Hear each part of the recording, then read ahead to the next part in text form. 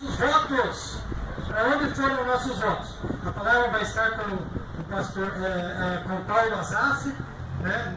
também patriota, nosso companheiro aí, forte na batalha, e depois tem mais pessoas importantes aí para falar.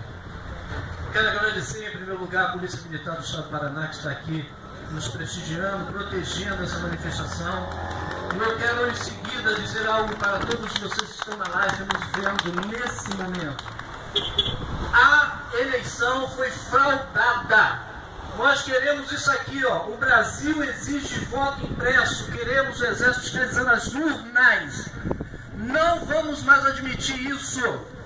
Nós sabemos que as urnas estão totalmente fraudadas. A nossa manifestação não é contra a lisura, como diz o Barroso do TSE, o ministro, em relação às eleições. A nossa manifestação aqui, senhor ministro Barroso, é exatamente o que o senhor fez, comprando um supercomputador, custando milhões sem licitação e dizendo que os votos estão nas nuvens. Nós queremos um apuramento em relação a isso. Nós queremos que o senhor ministro Alexandre de Moraes foi colocado para fiscalizar exatamente o hackeamento em relação às urnas, que haja uma lisura. Nós queremos chamar a atenção de todos os deputados federais do Brasil todo são vocês, senhores deputados federais, que são nossos representantes, nossa voz lá. Tratem de estar lutando pelo povo e requerendo isso aqui, ó.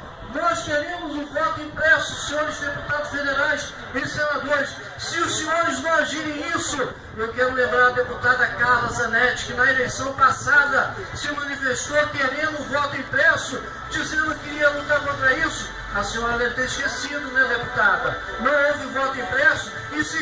repetiu aquilo que viu na eleição passada. E pior, e aqui eu finalizo a minha fala, já está armada as eleições para 2022. O balão de ensaio para que isso aconteça é São Paulo. Eles tiraram exatamente os bolsonaristas do segundo turno, colocaram o